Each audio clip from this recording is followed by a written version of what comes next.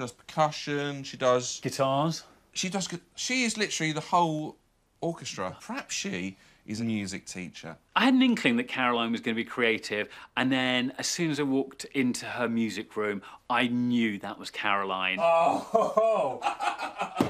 Me and John, we formed a twosome, and I think we'll be hitting the festival circuit next summer. John and Jay. Brace yourselves, Glastonbury.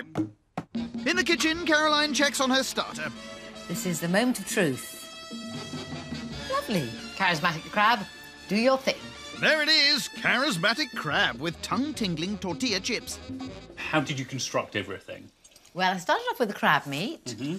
Um, and I put a bit of mayonnaise in, a bit of lemon juice. Did you say you put mayonnaise in there? I did, in the crab, yes. Did you make crab. your own mayonnaise as well? I'm afraid I didn't. Oh, I'm being picky, Karen.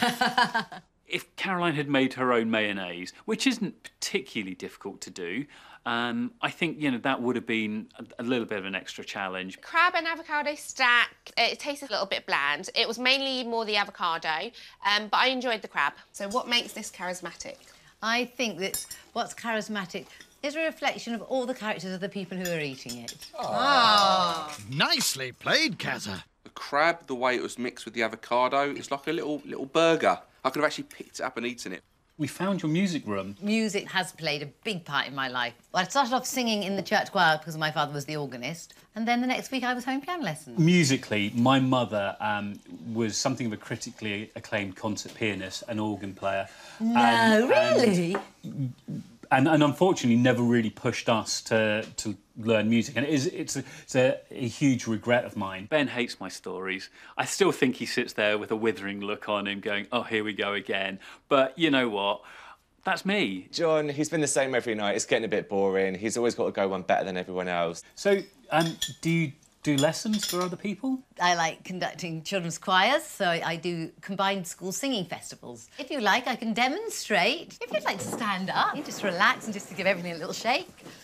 And just shake up high, and just down low, and just swing on your knees. And I might do a few of these. Ah, or you do that.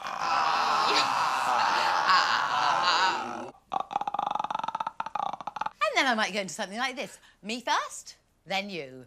Che che cooley. Che che cooley. Way too slow. Che che cooley. Che che cooley. Che che cofinza. Che che cavinza. Coffee salanga. Coffee salanga. Kaka silanga. Kaka silanga. Kumadende. Kumadende. Kumadende. Kumadende. Hey! Hey! Hey! Hey! Che che cooley, and the rest of it. It's great. I thought that was really fun, actually, and I, I, I was really happy that everyone kind of participated in it. Participated? Participated in it. There you go.